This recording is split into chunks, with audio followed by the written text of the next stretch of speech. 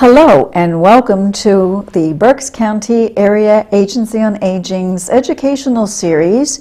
This particular series that we're uh, focusing on today is all about keeping yourself safe uh, particularly for seniors, and our segment is car and driving safety. So welcome in, and I'd like to thank Cheryl Gouker, who is uh, Marketing and Public Affairs with the AAA Reading Berks Company. Hi, Ann. Thank you and welcome, Cheryl. I appreciate your time and sharing some great information with us today about seniors and safe uh, driving, Mm-hmm. uh, and particularly we're going to start right in because I think you've got so much to cover today. Um, we talked about earlier, you and I, and, and we're going to share with the group uh, a program that you offer called Car Fit. Yes. So I'm, I've got some materials, but I wanted to just say, let's talk about the background. Why did AAA, uh, not to be confused with the Area Agency on Aging, but the Automobile Association this time, um, why CarFit? What, what is this program? Tell us a little bit about the basics of the program. Would love to. Um, basically, it is an effort uh, with the combined um, energy and resources of not only AAA, but also AARP and the American Occupational Therapy Association because we um, all three have a like-minded um, viewpoint uh, as to keeping senior drivers safer behind the wheel. That's, that's a, a thrust. That's something that we're really passionate about. So we, all- we all came together and we developed this wonderful program where we invite an older driver to come to an event um, with their own personal vehicle. And we just make sure that they are using their personal safety equipment to the best uh, of their ability to keep that driver safe. Um, you know, um, the aging population is, is getting larger and larger as far as demographics go. And um, it used to be when you had children, your children would settle in in your area. So you raised them, they got their own home close to you, and then as you aged, you were able to ask your children to help you with their different things. Uh, but we uh, have a very mobile society in which we live today. So when your children leave the nest, they fly to four corners of the world. Yeah, leaving their older parents to fend for themselves. And if you live in a place where you have mass transit, that's helps. But Berks County, you know, and as many places in the country, um, is very rural, and you don't have the benefits of mass transit. So if you want to get to the store, you want to get to the doctor, to worship, to wherever. You kind of uh, need to fend for yourself. So, if you're going to be driving anyway, um, the Car Fit folks uh, have decided to help you stay safer behind the wheel longer. Okay, and I think that what, um, on top of that, what, you know, we see too is you want to make sure that, um, and we're going to talk about this later, there's also changes, you Oh, know, that occur as we age. And so I think that the, the program focusing on seniors in particular is the combination of, you know, being safe while we're driving, dealing with the car situation itself, the safety features, Absolutely. as well as our changes in our body, the uh, issues with vision and other issues. We want to be aware of those to not hide them. We're going to learn how to work with that through your Exactly. information to make us all safe on the road, whether it's th- those folks driving us, anybody else, That's you know, right. safer on the road together with cars and uh, new or old or used cars. That's right. Um, so, in looking at this, um, I don't know, does it relate to the need of, of you know, the, the, the need of the, the program here Mm-hmm. in Berks County? Tell me about that. What have you seen with the need? Are people Mm-hmm. coming to learn a little bit more? And we'll talk about how to do so, but Mm-hmm. I, I, one of our features was to make sure that people knew about this program. Absolutely, and, and that's and that's why we're here, and I love getting the word out because um, in our experience, I don't know if we have the first slide there. Sure. Uh, it's going to show us some results that we see when we have the um, the events. You know, um, it talks about a little bit about. Uh, Well, I like the title of this one because Yes. it, it really says how older drivers fit in their vehicles. That's right. and I think sometimes right. we've changed over time and we don't fit really uh, in it's some true. cases and things have changed. So, yes, how yes, we fit in absolutely. our vehicle. Uh, some of the things that we see um, are many people are coming to the events wearing their seatbelt.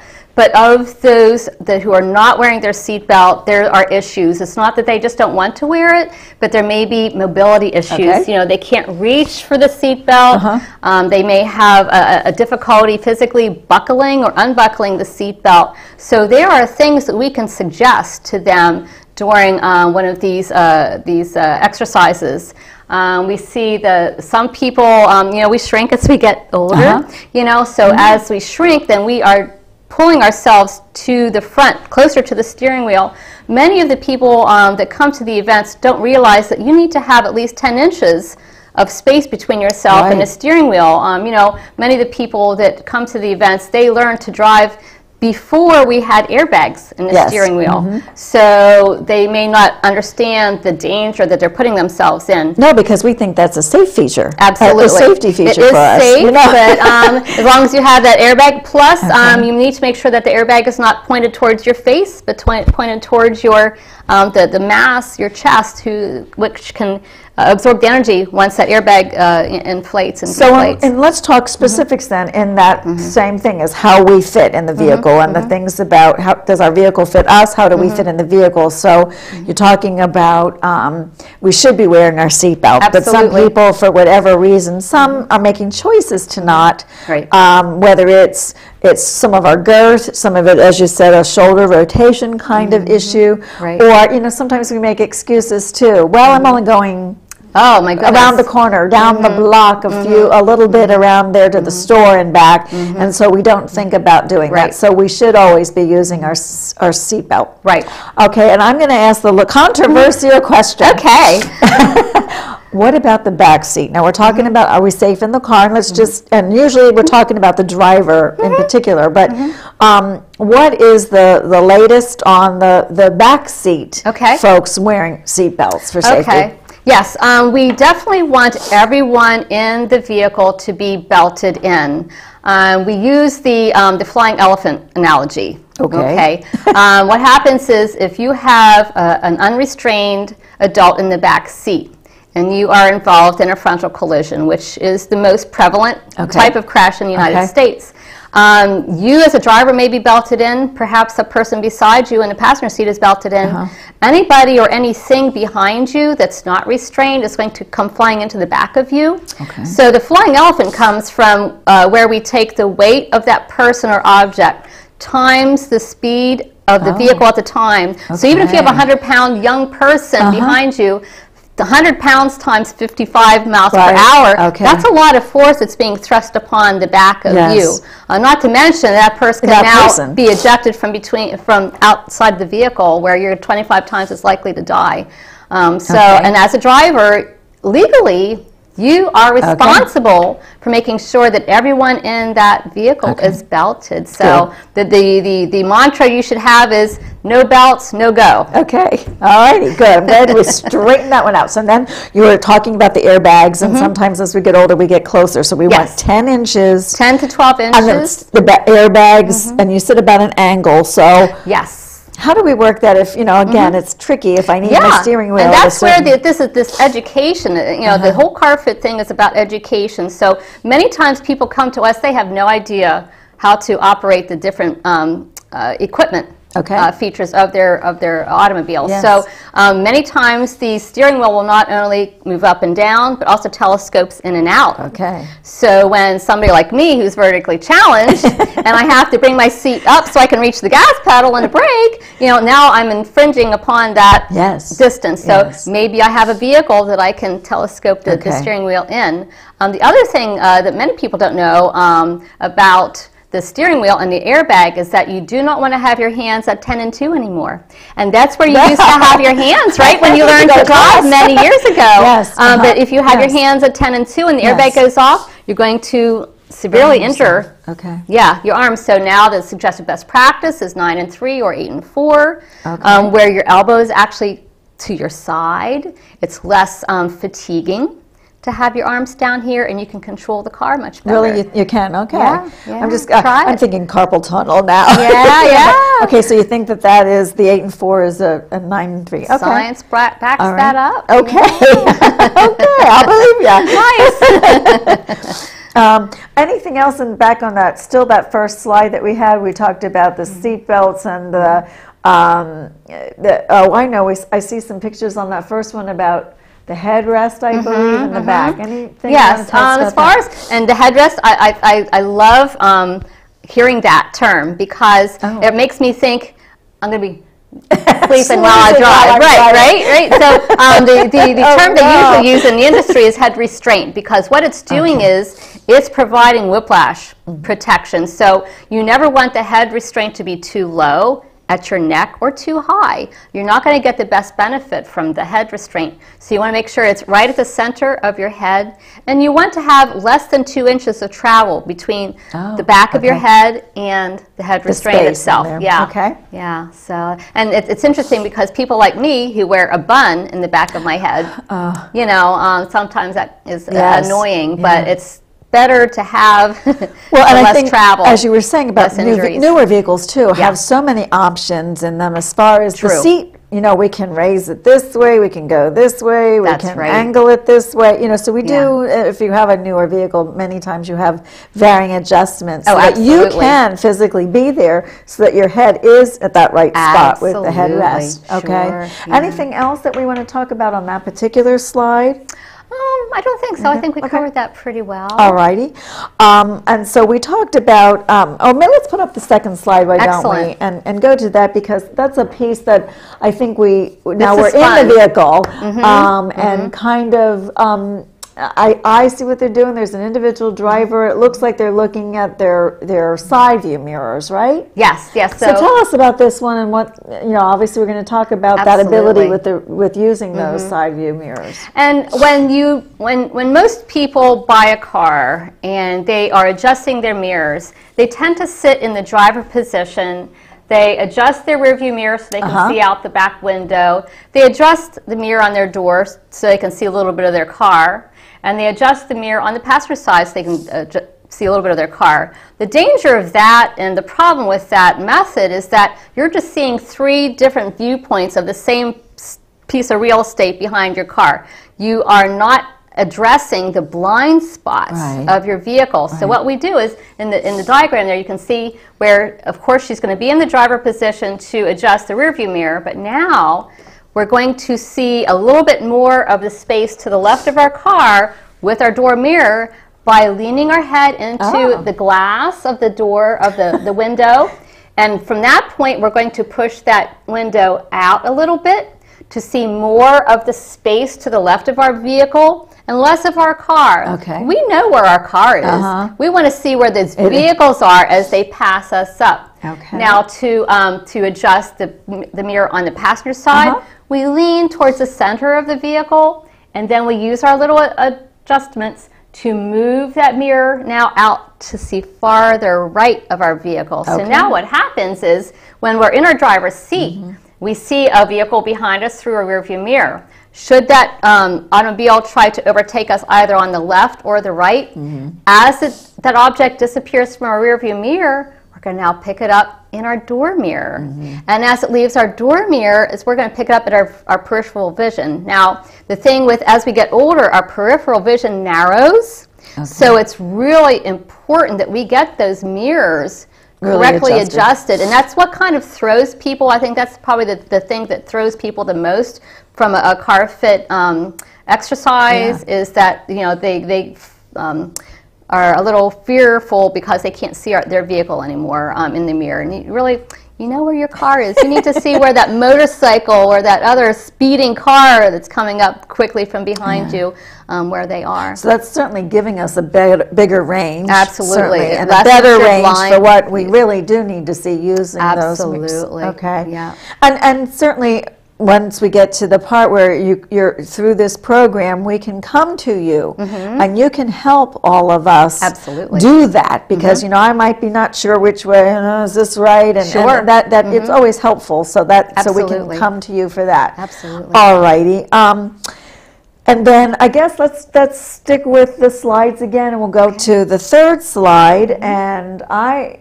these are all moving vehicles. Yes. it's like a little confusing to me, Cheryl. So You've you, got you can several. just see, this is just an, uh, another um, uh, diagram of the benefits of that, uh, they call it a blind spot glare eliminator mirror method uh, of, of uh, the arrangement. Okay. And um, you can see this, the car in the center on the left. Uh-huh. Um, there's little dotted little dashed lines that come out. Um, when the mirrors are not correctly adjusted, you're just seeing a very I see. Mm-hmm. narrow swath of a road behind you, whereas when you correctly adjust those door mirrors, you're going to see more of the vehicles on the left and the right side of your vehicle I as see. they try Yep, to so that does you. give us certainly, yeah, as we were saying, a broader, better. And, and you'll never completely eliminate your blind spots from your vehicle. There are many things that cause blind Mm-hmm. spots created by your vehicle, door posts, things like that, pillars, Mm-hmm. head restraints in the back seat we talked about.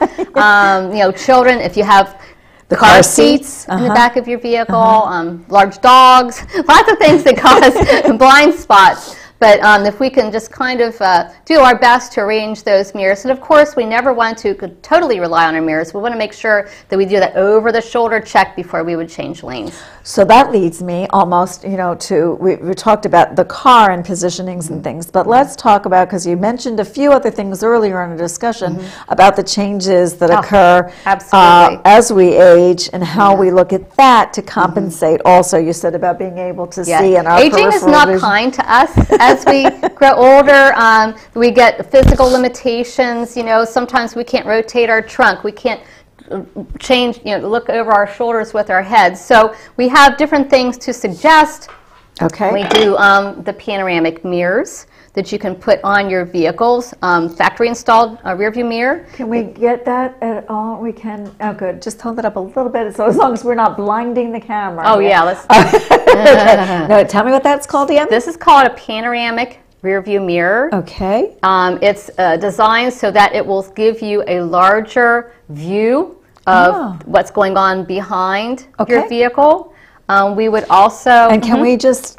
Where do we get that? I. Oh, mean- you can get this at any auto parts stores. Okay. I, I believe I purchased this at Kmart. Okay. So there's a plug for Kmart. Um, so And is there a any- way I put it on? I take it to a dealer and they'll put it on. You can actually do it. Um, there's Okay. just little uh, legs here that you slide it across Oh, on your factory mirror. So you Oh, really don't need to have um, anyone of the I don't need to- profession. yeah. Okay. Yeah. For those of us who might be technologically. Sure. Okay. Um, we also have the little buttons um, for on your door mirror. I don't know if you can get that. Um, this is to also help you eliminate or reduce your blind spots. In fact, these are so clever and so um, useful is that many motor, many manufacturers of vehicles are actually having these installed in the factory. Oh. Many of your Ford products have this on the door mirror, and it's So it just a just how does that work? It just this fits is just a on it. yeah, it's a it's a convex mirror, and it's going to give you more of a view um, to the left or to the right of your of your of your vehicle. Yeah, Okay. Yeah, All right. helps with that range of motion issue. All righty. What else? I mean, I, you know, Mm-hmm. so we're talking about the, the other changes. We've got some vision impairments. We've got, um, Yes. you know, some folks I know already kind of s- begin to eliminate times of day when they drive. Yes, so we call that nighttime driving. self-regulating, and Yeah. it's, it's a marvelous thing because um, uh, when we maybe uh, discover that nighttime driving is not uh, uh, as easy as it used to be, we see the stars, you know, from the headlights, or um, you know, as you age, you need more light to see. Uh, I believe the uh, statistic is a 60-year-old person needs three times as much light as a 20-year-old just to see in the dark. Okay. So you may decide, okay, I don't think I'm going to drive anymore at night, Yeah. or I'm going to ride with one of my friends who really doesn't have an issue, Mm-hmm. you know, with driving at night. Um, another part of uh, self-regulation is perhaps I'm not comfortable driving on a high-speed highway anymore. Yeah. So I would rather take the back roads because now my, my level of comfort is much better. I'm not as nervous, Mm-hmm. and um, I, I don't have as much difficulty on a, on a back road.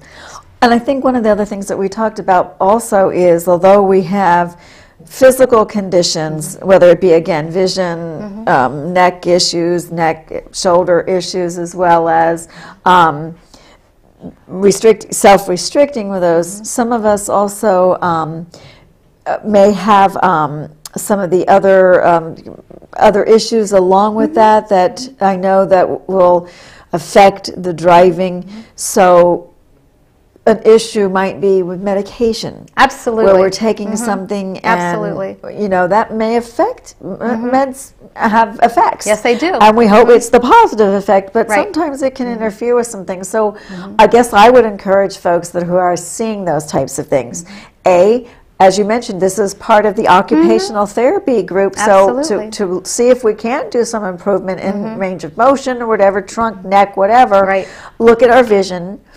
Um, perhaps review our meds. Absolutely. Self-restrict, as you said, by maybe it is the evening driving, the road type, etc. Public transportation it might Mm-hmm. Right. Mm-hmm. be a, a good way to go.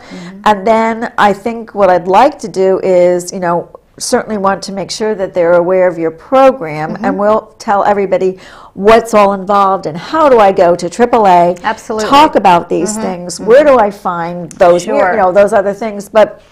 I think also, before we get to that, because I want to spend a little time on that, mm-hmm. you have a few other things on the table. So I believe you have some other Yeah. devices of some sort that, that we could potentially get or use. Absolutely. Um, sometimes folks have uh, an issue such as rheumatoid arthritis, which Yes. is very um, crippling. It can be very crippling. Uh, it doesn't necessarily mean you're going to be a bad driver. It just presents some challenges. Uh, for instance, getting the gas cap on and off of your vehicle. Yeah. So what we have is a little um, gadget here. Okay. It's very nice. It has some little knobs here Four little that areas, fits okay. The gas cap itself. Now you have a nice lever Ah, okay. to help give you a little bit of leverage to take that gas cap on and off. Um, another thing we used to use a lot, but um, now that the keys have the little chip in, they don't fit in this. But this is a nice little handle. It would be good for uh, such as a door key. Yes, uh-huh. Um, but you just put the door key in the little screw here. and Now you have a little bit more of a handle to to to um, make that uh, swivel motion. You know. Uh-huh. Um, Okay. People like my dad. My dad has Parkinson's, Oh. so he has uh, mobility issues. Um, doesn't mean that he can't drive, but he has problems with uh, motion getting in and out of the vehicle. So we suggest a little swivel cushion like this. Um, it just helps him get in and out of the car. So um, Is there a way to secure, do you have to secure that then? you do not. It has a little bit of oh, a rubber um, surface Okay. on the back of it. So that should stay Mm-hmm. pretty well in place on the seat. Absolutely. And there are several different models. This is a little high, but there's um, also a model that um, is not quite that high. Okay. Uh, we also have a cute little thing here called a handy bar. This is really nice. This is also for people who have maybe an issue of getting in and out of the car. Um, the, the problem is uh, a person may put a hand on the door and maybe on the dash of the steering wheel getting in and out. Well, then you're going to close that door on you. So what happens with this little handy bar is there's a nice little metal. It's very strong. And this goes into the little D-ring on your door frame. Okay. And now you have a nice handle to put your weight in onto. Um, nice So leverage as you're turning to get out of, as you're, as you're getting in or getting out. Okay. You might want to put a hand on here and a hand on the dash, um, which is, will help you get in and out of the car. I mean, there's a couple other advertised benefits. I don't know that what the value of them is, but the, supposedly you can use this to break your window if you need to, and a little razor blade in here to cut your seatbelt. But Okay. um, but I, I like the value of the uh, ability to get in and out of your vehicle. and now these different devices Mm-hmm. or gadgets, because I know that you said the one you got at a local store. Mm-hmm. Um, do you, does AAA carry any of these? Could I get them at AAA, or Um, they I are don't just so have them available? at the AAA. Um, again, my, my point with the car with the program is I want to give education. I'm not necessarily selling anything, Okay. so I like to keep those two areas separate. Um, but I can certainly uh, provide information on where you might find these. Super. Uh, we give a little goodie bag to anybody. so let's talk about it. I, I need help. Okay. let's talk about how do I connect with you for this Perfect. CarFit program, so I, Perfect. so I can come in. I would I pull right up and here's my car. Help me. yeah, you would, you would make an appointment with me. Okay. You would contact AAA and request a CarFit um, exercise. And uh, when you come in your own personal vehicle, I'm going to use a nice little checklist so that I make sure I don't miss any item. Um, and then you, as a driver, would get a copy of that checklist. Oh, terrific. Okay. So it's just kind of a nice way for me to make sure I've I've checked everything um, that has to do with you and operating your, your car safely. Um, I will. I, I really like to emphasize. I am not looking for a reason to not have you driving anymore. My purpose is to make sure that you're driving longer, but in a safe Safer. manner. Yep. Yes. Alrighty, and I think too with that combination of, you know, uh, we talked a little bit before about newer cars and the changes Mm-hmm. with the new vehicles. So as we even get new vehicles, we want to make sure that we are uh, fitting in it properly. Um, and also knowing that we have all of the safety features and how to use them to stay safe. Um, how long approximately does that About take? 15 to 20 minutes, and it's Oh, for okay. free. Oh, well. That's right. And it actually, is such a very simple thing in terms of a, a time, giving Mm-hmm. oneself that 20 minute time for themselves to make them a little bit more comfortable and safer on the road. Absolutely. Um, and again, you do not work with any particular group to say, okay, this person shouldn't be driving, so you're not getting information and making referrals so that you know licenses are taken or keys are taken. No, that has that- nothing not to my do with it. We want to purpose, make sure we're clear on that. Yes. Um, because AAA is pretty much for having everything safe on the road, Absolutely. all over, you know, because everybody benefits. full Not only you that comes to me for this information, but also all the different motorists out the, there that are sharing the roadway with you. You know, everybody benefits. Let's um, make sure that we know um, how to reach you. So if we have that other slide, We have a slide with my contact information. I'll let you tell us That's how to reach you, Cheryl. So perfectly. Um, if you want to call me at 374 4531, my extension is 7117. Um, I also have my email address up Okay. there. However, you like to um, contact me, there's also a greatcarfit.org website. So you want to make sure that you uh, go on the website. It'll give you a lot more information. Um, I'm happy to mail to you any information that you would like. Just give me a call or an email. I will drop some information in the mail so you can kind of make up your mind whether it's something you might want to experience. Uh, I, I think it's a great program. I think um, it certainly is going to help us uh, be safe.